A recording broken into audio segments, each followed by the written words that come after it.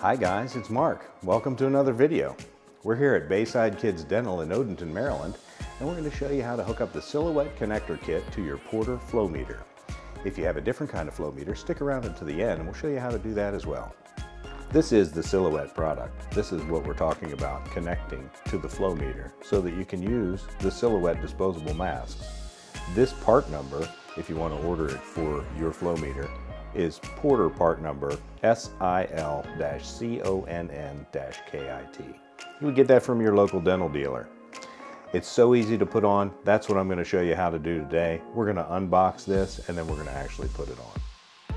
So first things first, when we're going to install the Silhouette, we want to make sure that we have the connector kit in hand and we also want a knife.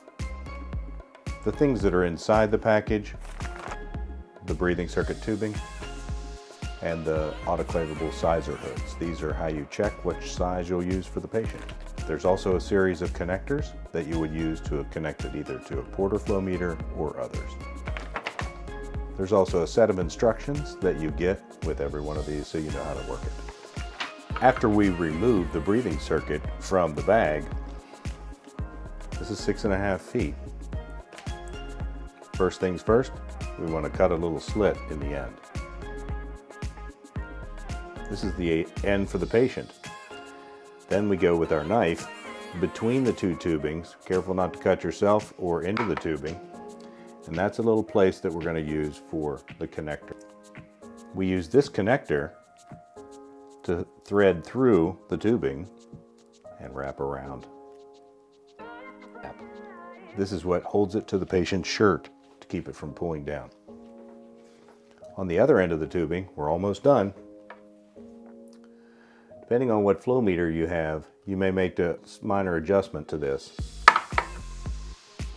But basically about six inches we're gonna cut back. We're almost complete. Now we just have to remove our old breathing circuit.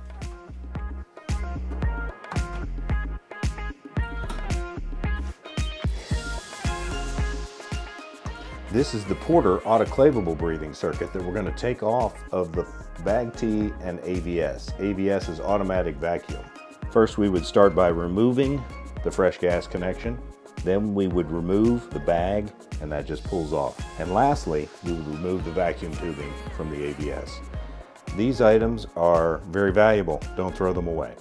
If you ever want to use those again, you can simply reconnect this cap we would use to close off where the bag was on the Bag T. This is the connector for the front of the silhouette. It goes right on the front of the Bag T. We're almost complete. Now we have a large and a small tubing. The large tubing goes to the vacuum connection on the AVS.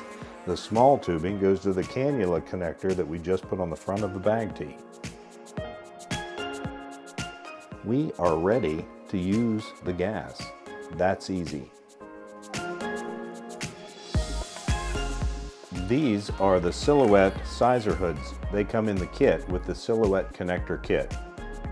What you use these for is to check the patient's size and these are autoclavable. You can reuse them over and over.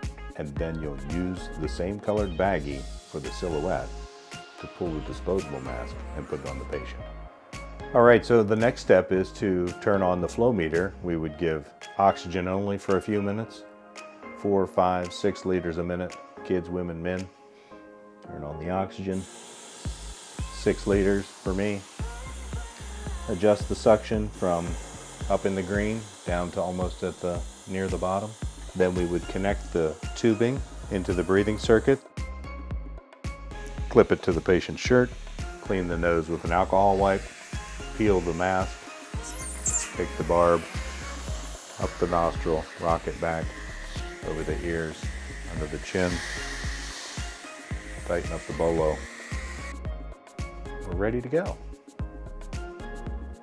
For any of those other brands that you want to connect the silhouette, take off the fresh gas tubing, add the cannula adapter, take off the bag, and add the cap, and you're good to go. With the Matrx or the Accutron, you need one additional adapter that's included in the kit. That goes in the front after you take off your fresh gas tubing. Add the cannula adapter to that and the bag cap goes right there.